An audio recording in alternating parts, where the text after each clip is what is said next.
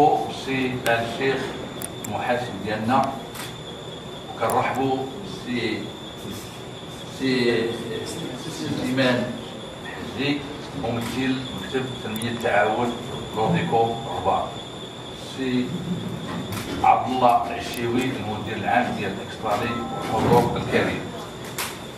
آه، كما بعلمكم راه بينكم عندكم استدعاءات فيها دول الاعمال المسطره وقبل من نبدا المناقشه ديال الاعمال يمكن لي نذكركم بأن راه المجلس الاداري اللي فات. قرر إن شاء الله بحول الله وقوته زيادة ديال 20 فرنك. في الحليب ابتداء من الكنزه ويعني رغم ثمن اللي ما تغيرش عند المستهلك. هذه يعني كندوزها لكم لأن التعاونيه راها عارفه الهموم ديال الفلاحه وعارفه المشاكل وعارفه الظروف اللي كنمروا منها والله غالب إحنا عندنا واحد الأزمة كبيرة وما كتعيشوها كتعيشوها يعني وجب ليا باش نخبر والتغطية الصحية راه وصلتكم الرسائل. هذا ورش ملكي ديال سيدنا خصنا نعملوا كاملين جادين باش ننجحوه. ورسلكم الرسائل وربما شوية الصوت وجوهم واحد الرسائل عبر SMS وذاك الثمن جاهم غالي يرتاحوا. راه جاو عندنا. حضروا معنا. داروا معنا اجتماع. الله يجزيكم بخير. لما يحبسوا الهاتف. حتى ما يكونش تشواش راهم جاو جلسوا معنا وناقشنا معاهم هذا الشيء وهذا الشيء بلغناه لهم أمانة وصدق. وراه إن شاء الله الرحمن الرحيم غتكون المراجعه وغيكون واحد الثمن بسيط باش تسهل هذا الانخراط وباش ننجحوا في أقرب وقت. السلام عليكم. حاجة ديال السنين اللي كانت عندنا قديمة باش تفهموا. كانت مجموعة فيها الياغورت الحليب الرايب واللبن محل واحد. اذا دابا ان شاء الله أنتم كلكم في حينكم هذه واحدة جديده اللي كدار. هذاك الاستثمار اللي كيوصل 107 مليون درهم. يعني بالمفهوم ديالنا 10 ملاير و700 مليون ديال الاستثمار. هذه الوحده جديدة خاصة للحليب. باش نفرقوا الحليب على المنتجات الأخرى. المنتجات الأخرى غتبقى في المعمل التقديم. وهذاك المعمل القديم ما غيبقاش هكا. راه التوسيع غيشهد واحد التوسيع راه وريقات كيتصايبوا الماكينه ديال الياغورت راه خديناها بمليار و 300 راه واحد راك مستعد هي جاية راه تحققت راه نازلة. الماتيريال كله نازل. آه، اللبني راه شفتوه فين وصل. إذا إن شاء الله الرحمن الرحيم الهدف ديالنا من هادشي كله هي باش ن- نضوبلوا الإنتاج ديال اللبن ل 50% إضافية. يعني إذا كان دابا كيخدم 200000 400000 كمل اسلام اذا شكرا سيد الرئيس على التوضيحات اذا كما قال لكم السيد الرئيس هو البرنامج الاستثماري مقسم على جوج جوج اقسام كاين الجزء ديال البناء ديال الوحده الجديده ديال ديال معالجه وسميتو ديال الحليب المبسطر هذيك بوحده وكاين الشق الآخر اللي هو هذا هذا الوحده ديال تصنيع آه، المشتقات ديال الحليب سيرتو الياغورت اذا هادو جوج مشاريع استثمارية. الحمد لله هذاك هذا المشروع راه راه يعني وصل لواحد الخطوات متقدمة. وهذا راه التصاميم راه كاملة. راه محطوطة عند مكتب bureau ال contrôle.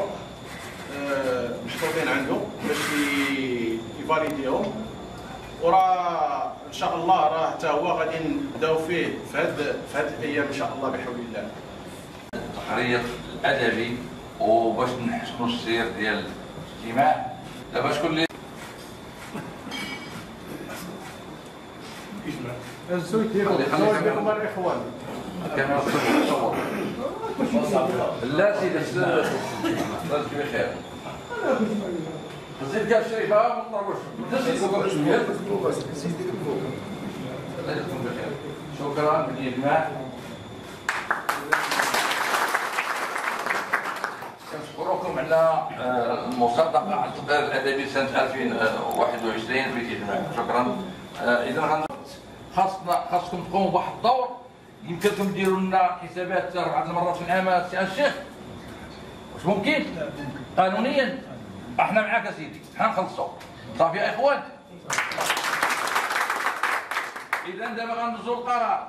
شرحنا نقولوا شكون اللي مصوت على التقرير المالي.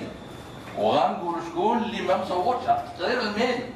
نزيدوا نوضحوا ونوضحوا متفقين على بركة الله. المصوتون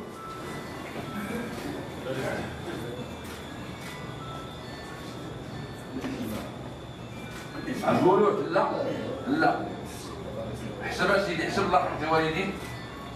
أنا كنشوف شي واحد أو جوج شي هذاك اللهم خصنا نوضحوا حسب فارزين بجوج نوضوا فارزين بجوج عبد واحد نعم. انت فارس تتحسب بلا صبر واحد من الليل واحد من هنا إجماع. واقع. إجماع. ما الإجماع. انت واحد الا كنشكروا جميع الاخوان على هذا الانتقال اللي وقفتوا في السي ورحنا كنزكيوه دائما وراه معنا دائما اذا كندوزوا للنقطه الثالثة. وهي إعطاء البراءة لأعضاء المجلس الإداري والمدير العام عن تسيير السنة المالية 2021 إعطاء البراءة. إلى مستشار صاحب الجلالة القصر الملكي العامر الرباط. سلام تام بوجود مولانا الإمام دام له النصر والتأييد. وبعد. بمناسبة انعقاد الجمعية العامة العادية السنوية لتعاونية الفلاحية الحليب الأفضل بالقنيطرة يشرفني أن ألتمس من سيادتكم رفع البرقية التالية إلى مقام حضرة صاحب الجلالة الملك محمد السادس نصره الله.